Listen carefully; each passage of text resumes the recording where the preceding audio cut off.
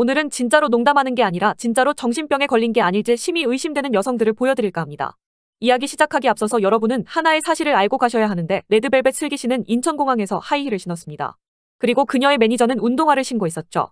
하지만 대만 공항에 도착했을 때 슬기 씨는 매니저의 운동화를 신고 있었고 매니저는 슬기 씨의 하이힐을 신고 가게 됩니다. 자, 여러분은 혹시 여기서 문제점을 찾으셨나요? 이 문제는 순식간에 여초 커뮤니티에서 불타오르게 됩니다. 2024년 7월 13일 여성시대에서는 댓글 1598개가 달릴 정도로 핫하게 타올랐고 논란이 시작된 오후 2시경에 수많은 여성들은 레드벨벳 슬기 씨를 향해 갑질이라고 욕을 하게 됩니다. 아우 짜증나네 아무리 매니저가 괜찮다 했어도 신발을 바꿔서 신는 게 말이 되냐 먹고 살기 힘들다. 항상 느끼는 건데 연예인들의 사고방식이 일반인과 다르다고 느낀다. 이게 갑질이 아니면 뭐야 친구끼리도 저런 건 안 해줘. 라는 말을 하면서 레드벨벳 슬기 씨를 향해 개같이 욕하는 우리 여성들이 보이시죠? 이 영상을 여기까지 봤을 때 정상인들은 이상함을 느꼈을 겁니다. 아니 연예인과 연예인 매니저끼리 합의해서 저렇게 한 걸 거고 매니저가 연예인 신경 써주는 게 뭐 그리 욕먹을 일인지 이해가 안 가실 거죠. 우리 한국 여자들은 그 누구보다 앞장서서 미친 연예인은 다 막장이구나 슬기는 천사인 줄 알았는데 이건 갑질이다 짐도 들고 가는 사람 신발을 저런 걸 신기냐. 같은 식으로 우리 한국 여자들은 오후 2시까지는 슬기 씨를 향해 개같이 욕을 해댔습니다. 그러나 이 논란에는 반전이 일어나게 되죠. 사정 모르면서 지은 니을을 한다 여자의 적은 여자라고 드릉드릉 어쩌고 저쩌고 하네.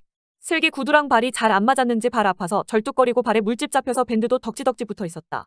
매니저님이 당장 내일 구두 신고 무대해야 하는데 어떡하냐고 먼저 바꾸자고 해서 바꾼 거다. 이건 매니저님 미담인 거지 슬기 갑질이 아닌 거다 라는 식으로 같은 페미니스트 한녀가 악플 쓰는 페미니스트 한녀들을 저격하고 나선 겁니다. 이 한녀를 저격하는 한녀의 폭로에 저격당한 한녀들은 주작이다 입 닥치고 있어라. 라는 식으로 조작이라고 슬기는 갑질 연예인이 맞다고 말하는 우리 한국 여자들. 하지만 오후 9시경 레드벨벳 슬기님은 직접 이 논란에 대해 사과를 합니다.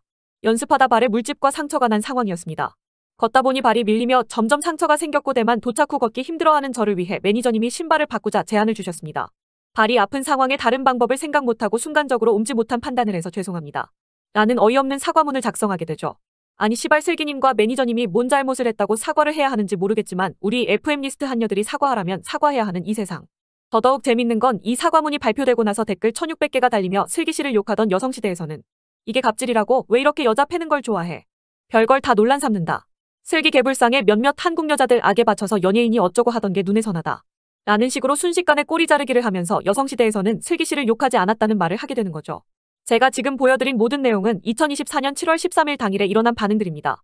슬기 매니저 신발글 보고 충격받았다 진심 너무 기괴하다 내가 발 아프면 당연히 남의 발도 아픈 건데 라는 말을 하면서 오지게 매니저에게 공감하는 척하며 악플 달던 한국 여자들. 이제 와서 갑자기 니은티읕 주작 덮으려고 일부러 터트린 기분이다 라는 음모론을 쓰고 자빠졌죠.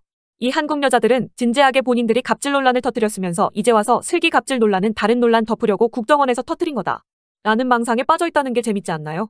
저는 오늘 모든 상황에서 여자만 나오는 다큐를 한 편 보여드렸습니다. 피해자도 가해자도 없는 상황에 여자들이 얼마나 미쳐날뛰며 악플을 달아대는지 명확하게 보이시죠? 부디 악플로 사람을 공격하는 여저겨 FM리스트 여러분들이 정신을 차리길 바라며 영상 마칩니다. 여러분의 구독과 좋아요는 은희가 악플러 퇴치하는데 커다란 힘이 된답니다. 오늘의 한 줄 요약. 악플러의 대부분은 여자였다.